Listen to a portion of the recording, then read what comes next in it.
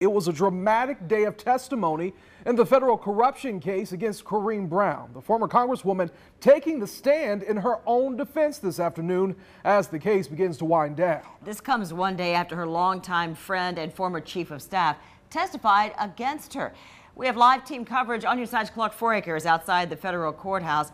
But let's begin with First Coast News anchor Heather Crawford. Heather? Good evening, Jeannie. Well, court just ended for the day a few minutes ago. Corrine Brown's in the middle of being cross-examined, and she will take the stand again tomorrow morning when court resumes. Now, she testified today that she wished she paid closer details closer attention to her finances and said that she was always busy doing things for her constituents. Now, her testimony definitely drew the biggest crowd so far during her trial. Uh, the courtroom was at capacity. The overflow room, which is where I sat, was near capacity. Uh, at times, Brown was indignant. At times, she was tearful. And she testified today that she did not know that her long serving chief of staff, Ronnie Simmons, had stolen any money until he pleaded guilty this past February. Now, Brown is facing 22 charges in a 24 count federal indictment, uh, charges pertaining to alleged mail, wire, and tax fraud. Those are charges that Brown adamantly denies. And the defense is trying to pin all of this on Ronnie Simmons. And we heard Brown talk a lot about Simmons today, testifying that she loved him, that he was like a son to her. And she talked about how he had access to her bank accounts. I want to pull up one of her uh, quotes today on the stand. She said sometimes he would move money from one account to another downstairs. I know it sounds strange, but that's what he did. Now, First Coast News' Clark Fouraker has been covering this case from the very beginning. And Clark, I found it really interesting how Brown testified today that she'd only met the head of One Door for Education, that bogus charity who's pleaded guilty in this case. She'd only met Carla Wiley a handful of times. Yeah, Carla Wiley's sort of a non-issue for Corrine Brown at this point. She's trying to convince the jury that Ronnie Simmons basically moved all this money on his own. And of course, they've seen documents and photos showing Brown with either cash in her hand or her signatures on checks involving One Door for Education. Uh, court just wrapped up here a couple moments ago, and the Congresswoman today, her testimony was very interesting. Her attorney, James Smith, uh, uh, put her up on the stand, and the first questions out of her out of his mouth were asking her if she was involved in a conspiracy to commit wire fraud, or in fact committed wire fraud herself. She said no to both of those questions. And then her attorney attempted to unravel all of the things they've tried to pin on her and show the Congresswoman as sort of ambivalent, uh, that she worked towards scholarships and in the other areas where money was changing hands and, and could have been illegal, that she simply did not know what was going on and that Ronnie Simmons handled the duties of her office and the finances within in a very intimate way. I think one of the most interesting things about her testimony today is that she really addressed the jury in a very uh, dignified and intentional way. Certainly, with some questions and answers, it was a yes no kind of thing, but as the Congresswoman always does, she's a long winded person, has been for decades and certainly it was no different in court today. She spoke to those jurors, was often pivoting in her chair as she was talking to them. You know, she's really trying to convince him them that she was doing the right thing the whole time and that Ronnie Simmons is really the one who is responsible for all this. Of course, attorneys said, why on earth would Ronnie Simmons do this if you and he were so close? And she could not answer that question, said she had no idea that he didn't need to steal the money. She is under cross examination right now, and that will continue tomorrow morning. Heather? Right, Clark. And the court resumes at 9 a.m. Uh, the judge said that he will likely send the jury home Friday afternoon and that deliberations could begin Monday morning. We have extensive coverage of this trial, of this case, and of previous interviews with the former Congresswoman right now on FirstCoastNews.com. That is the latest from downtown Jacksonville. Let's send it back in to Lauren, who's tracking uh, another storm warning. Lauren?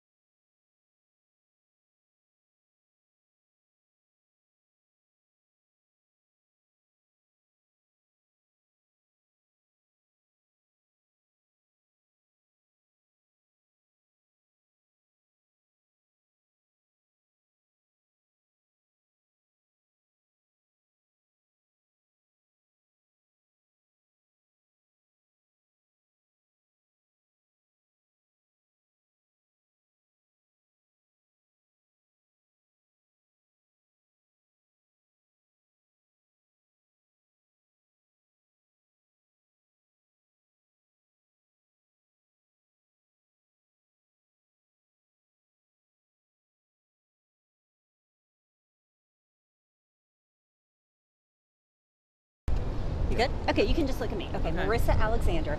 Um, tell me why you're you're here. It's your first day coming to court today, right? Right. Today's my first day, and I'm here just to support the congresswoman. I think that she, um, obviously, she supported me when I was going through my situation. So I'm just here to support her and show um, her that the solidarity. Unless you, you know, you've been through trial, you wouldn't know what it's like. And I think you need all the support you can give.